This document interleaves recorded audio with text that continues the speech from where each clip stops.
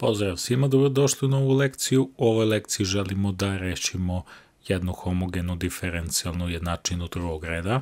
Opšti oblik homogene diferencijalne jednačine drugog reda je y sekundum plus py prim plus qy jednako nuli. Za takvu jednačinu mi prvo formiramo ovako jedan karakteristični polinom, odnosno jednu kvadratnu jednačinu. Čim rešimo tu kvadratnu jednačinu, dobijemo njena rešenja – jedan od načina da dobijemo ta rešenja jeste da ta rešenja budu različita i da budu realna.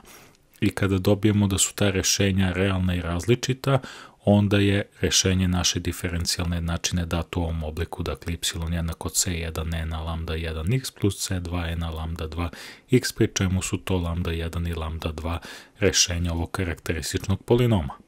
Ajmo sada da uradimo jedan zadatak, kaže naći partikularna rešenja ove diferencijalne jednačine ako imamo uslove da je y u nuli jednako 1 i y prim u nuli jednako 1.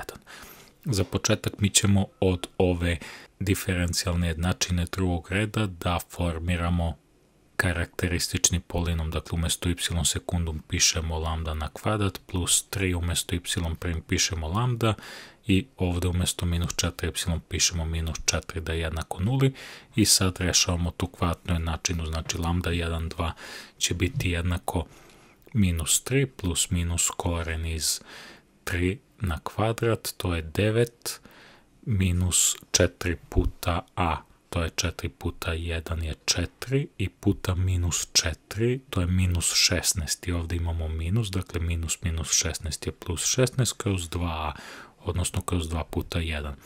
Lambda 1, 2 će biti jednako minus 3 plus minus koren iz 9 plus 16 je 25 kroz 2, lambda 1, 2 će biti jednako minus 3 plus minus koren iz 25 je 5 pa kroz 2, Prvo rešenje lambda je minus 3 minus 5, to je minus 8, pa kroz 2 to je minus 4, a drugo rešenje će biti minus 3 plus 5, to je 2, pa kroz 2 to je 1.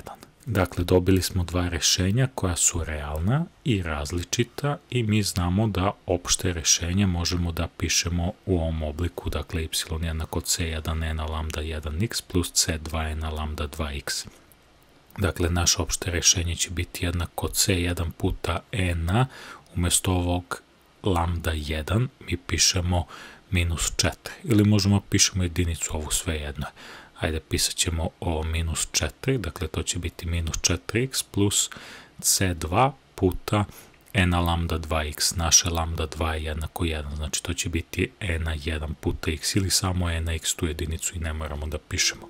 To je opšte rešenje. Sada želimo da nađemo partikularno rešenje koje odgovara ovim uslovima da y u nuli jednako 1 i y prim u nuli jednako 11. Da bismo to uradili potrebno je da nađemo čemu jednako y prim. y prim će biti jednako c1 e na minus 4x plus c2 e na 1x, odnosno samo e na x, pa izvod od toga. Sad vadimo izvod od toga. Dakle, to je dalje jednako izvod od C1 ne vadimo samo zato što je to konstanta, znači samo prepisujemo, pa vadimo izvod od e na minus 4x. Ajde, pisat ću postupno. Izbegam ovako da pišem postupno, ali ajde, nema veze. Plus C2 opet prepisujemo, iz njega ne izlačimo izvod, nego izlačimo izvod iz e na x. y prim je jednako C1 puta tražimo izvod od e na minus 4x. Znači izvod od e na x je e na x, pa će izvod od e na minus 4x biti jednako e na minus 4x i puta izvod od minus 4x.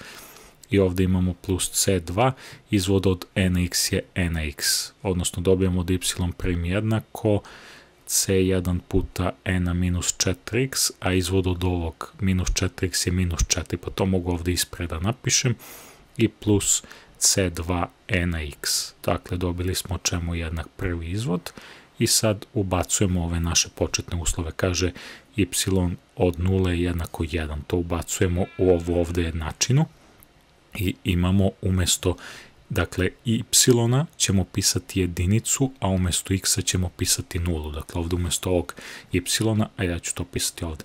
Umesto ovog y pišemo jedinicu, dakle 1 će biti jednako c1 puta e na minus 4, umesto x pišemo nulu, plus c2 e na umesto ovog x pišemo nulu.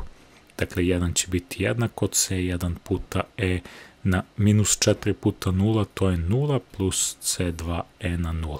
1 će biti jednako, e na 0 ti je 1, znači ovde ostaje c1 puta 1, odnosno samo c1, i isto to imamo i ovde s ovim c2, znači e na 0 ti je 1, c2 puta 1 je 1, pa pišemo c2.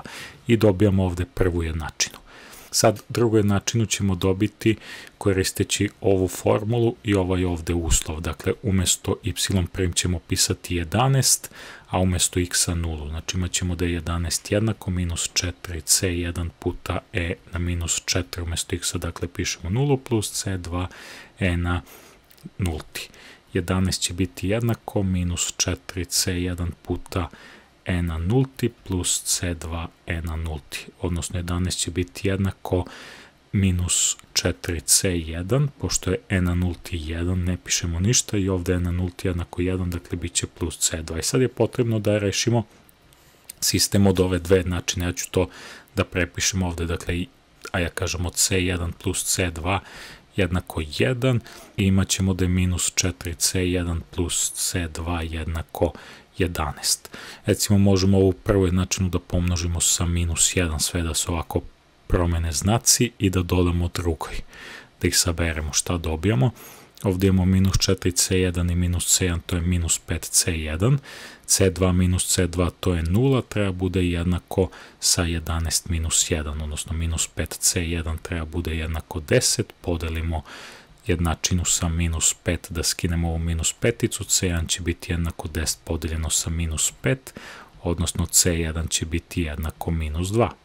Sad čim smo dobili da je c1 jednako minus 2 uvrstimo u neku od ove dve načine, ajde možemo u prvu c1 plus c2 da je jednako 1, znači imat ćemo da je minus 2 plus c2 jednako 1, to minus 2 prebacimo sa desne strane, dobijemo da je c2 jednako 1 plus 2, odnosno c2 je jednako 3.